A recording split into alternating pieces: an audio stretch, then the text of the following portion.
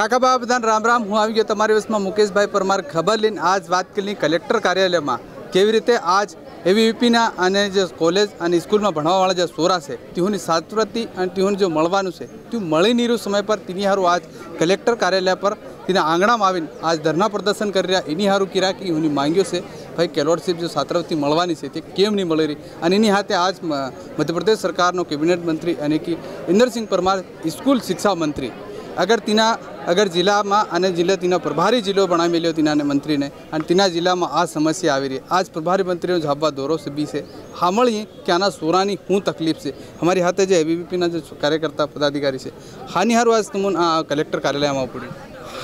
हंगला बयान तो राम राम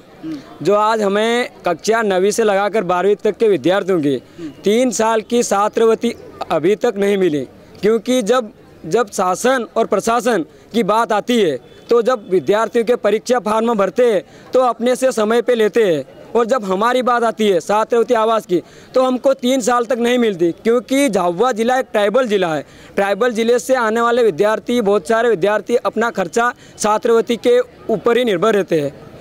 और उसके बाद देखा जाए कि झाबुआ ज़िले में हर महाविद्यालय में एमएससी की कक्षाएँ भी नहीं है, क्योंकि झाबुआ ज़िले में एमएससी की हर कॉलेज में ये कक्षाएँ खुलनी चाहिए। और क्या क्या समस्या? और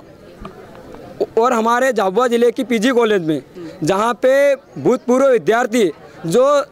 तीस पैंतीस विद्यार्थी रह रहे बिना एडमिशन के जो जो हमारे भाई बहन पढ़ने आते हैं तो उन, उनको डराना धमकाना और उनके हिस्से का राशन खाना। और जो बच्चे एडमिशन वाले रहते हैं तो उन, उनकी धमकी से वो वहाँ से भाग के और अपना एडमिशन निरस्त करवा लेते ये कहीं ना कहीं हमने शासन को भी तीन चार बार ज्ञापन अवगत कराया तो भी शासन प्रशासन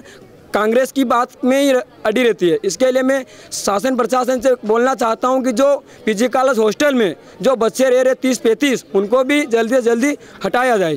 दूसरा आपने प्रशासन के खिलाफ भी नारेबाजी करी क्या वजह रहे? हमने शासन प्रशासन की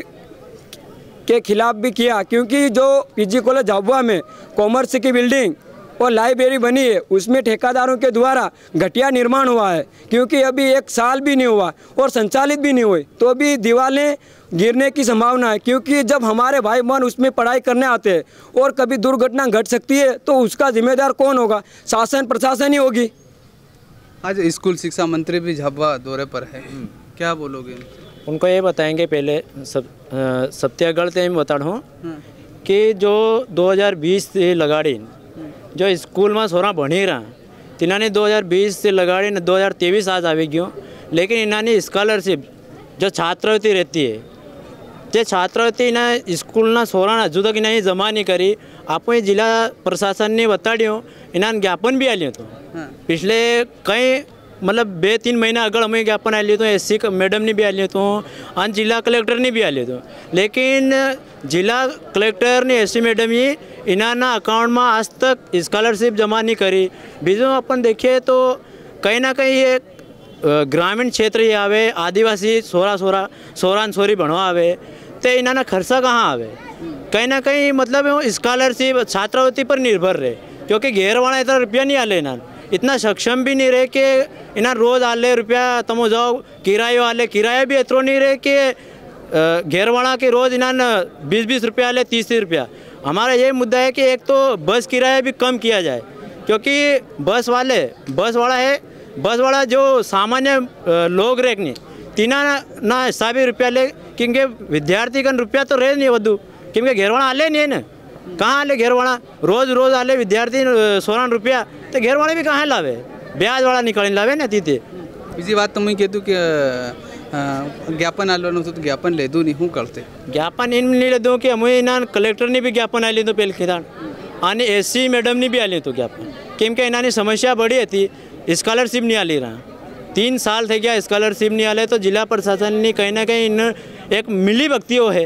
तेरह नहीं आली ना के स्कॉलरशिप अगल बात नहीं मोकलाता है इन्होंने सोरा मतलब जितना सोरा अगर बारहवीं बढ़ता था तो आज कॉलेज फाइनल भी कर लेती लेकिन बारहवीं नहीं स्कॉलरशिप नहीं अभी आज तक तो एतरे अमु इना नहीं अलियो जिला प्रशासन ने તીની હારું આજે કલ્યાણ हाँ तीने है तो तीने हरो हमें आज धरना प्रदर्शन करियो ये तो एक बे स्कूल ना सोरा आया है सोरा पूरा जिला भर आवा- ना हरो तैयार रहता लेकिन हमें कह दो एक बार हम शिक्षा मंत्री ने उतार दिए ताकि वो हूँ के हम सात दिन में मोहलत मांगू। अगर सात दिन में इन्होंने इन्हें सोरा छात्रवृत्ति जमा नहीं था है, तो हम जिला पूरा जिला ना स्कूल ना सोरा हूँ अने कलेक्टर कार्यालय घेराव करूँ अने आंदोलन बढ़ू करूँ। नीलेष गणावा झाबा जिला से। तो हेवी रीतनी बातों से जो सोरा ने जो भणवा से छात्रवृत्ति नहीं मिल रही हूँ जो पीली મળે કે નહીં કે તાકી કમસે કમ તેની પ્રોત્સાહન રાશિ મળે તાકી વધારે ભણવાનો હોસલો બની જાય સોરાને તાકી કંઈ ચિત્ર લઈ આવે યા કંઈ બી તો એવી રીતે એની હારું આજ કલેક્ટર કાર્યાલયમાં અ, બઠાશે અને પ્રભારી મંત્રીનો ઇંતજાર કર્યો કે અ,